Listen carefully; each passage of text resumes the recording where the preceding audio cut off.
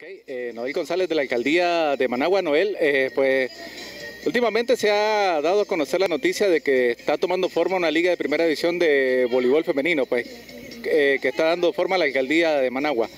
¿Qué detalles hay sobre ese evento, Noel? Bueno, gracias por la oportunidad. Eh, la Liga de Primera División de la Alcaldía de Managua, en conjunto con la Federación Nicaragüense de Voleibol, ya está tomando forma, posiblemente comience el 16 de enero. Hasta el momento tenemos previsto que sean entre 6 a 8 clubes de todo el país que participen. Esta, esta primera iniciativa, esta primera iniciativa del juego, eh, queremos eh, hacerlo más o menos como se hace el Carlos Gullo de Memoria, que es un torneo de masificación.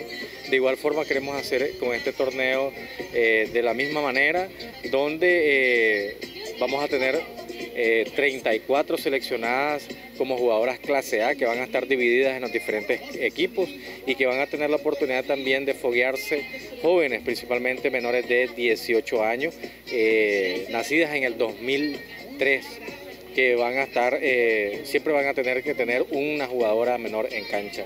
Eh, creo que la iniciativa ha sido tomada eh, muy bien vista por los diferentes clubes, por los diferentes departamentos que van a participar y esperamos que esta primera iniciativa podamos mantenerla, institucionalizarla y que pronto pues podamos tener más equipos en todo el país de Nicaragua. ¿Qué equipos por el momento están contemplados?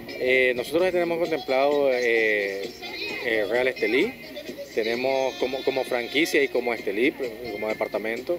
Eh, también tenemos eh, previsto que entre Chinandega, eh, tenemos previsto que sea Masaya, un equipo de la federación, el equipo de la alcaldía de Managua también, que estamos como academia más o menos dándole la oportunidad a todas las niñas que están en nuestras academias con algunas jugadoras de experiencia que nos van a dar un, un, un equipo bien equilibrado.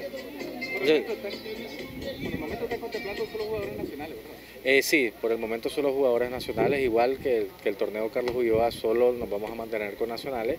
Eh, posiblemente pues para más adelante podemos pensar en una liga profesional que sería muy, muy bien visto por Nicaragua. Eh, recordemos que nosotros tenemos varias instalaciones deportivas que pueden ser utilizadas, tanto el Polideportivo Alexis Argüello, el mismo IND y el Polideportivo España.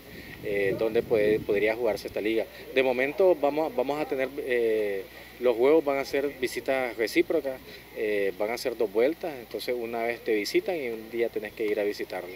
Entonces eso vamos a, clasificar de, de, los ocho equipos, cuatro a semifinales y después vamos a tener las llaves cruzadas para entrar a la final esta, esta etapa ya final, ¿para cuándo estaría contemplado que termine? Nosotros tenemos eh, previsto que el torneo dure en total tres meses, entonces eh, pensamos que para el mes de, de marzo, ya a finales de marzo ya estaremos terminando con este torneo.